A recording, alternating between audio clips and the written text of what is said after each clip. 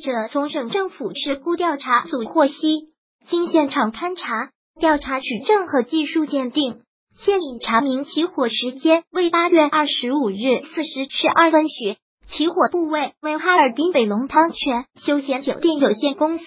二期温泉区二层平台靠近西墙北侧顶棚悬挂的风机排管机组处，起火原因是风机排管机组电气线路短路形成高温电弧引燃，周围塑料预制装饰材料并蔓延成灾。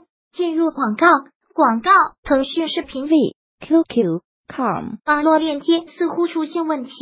你可以刷新或使用兼容模式播放试试，使用客户端播放更稳定。立即下载错误码 x x x x。我要反馈，暂停。下一集零点一点二十四分直播，一点二十四分弹幕，高清超清七百二十 P，高清四百八十 P，标清二百七十 P，倍速零点五 x，一点零 x，一点二五 x，一五 x，二点零 x，倍速播放在这里。全屏到腾讯视频观看此视频，下一个即将播放取消广告。广告：哈尔滨北龙温泉休闲酒店发生火灾，已致十八死十九伤，百分之五十、百分之七十五、百分之一百。Blind 零七六六三。TXB 播放模式。HTML HD。分辨率一九二零。X 幺零八零，视频宽高八四八。X 四八零，音量百分之五十，视频协议。Http cdn 二零三点二零五点幺五八点八幺，下载速度。缓冲质量。真属错误码，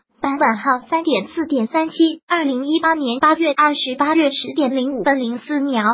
播放流水 R D C 四七三 D 六 E D 八 D 九 F 三九 A B 幺九 C 九六九 D E F 零 F 九零九七零二零一本地试制点击下载点击清除腾讯视频观看完整版。哈尔滨北龙温泉休闲酒店发生火灾，已致十八死十九伤。按住画面移动小窗 X W I N D O W D A T A V I D E O A R R P U S H V E 零七六六三 T X B i n g h t t p News G T I M G 点 C O M News App L S 零五幺二二七七二零零八六四零四八零零 Dick 哈尔滨市纪委监委已成立由副书记任组长的事故问责调查组，在省纪委监委的指导下，全面开展问责调查工作，深查火灾事故的相关责任。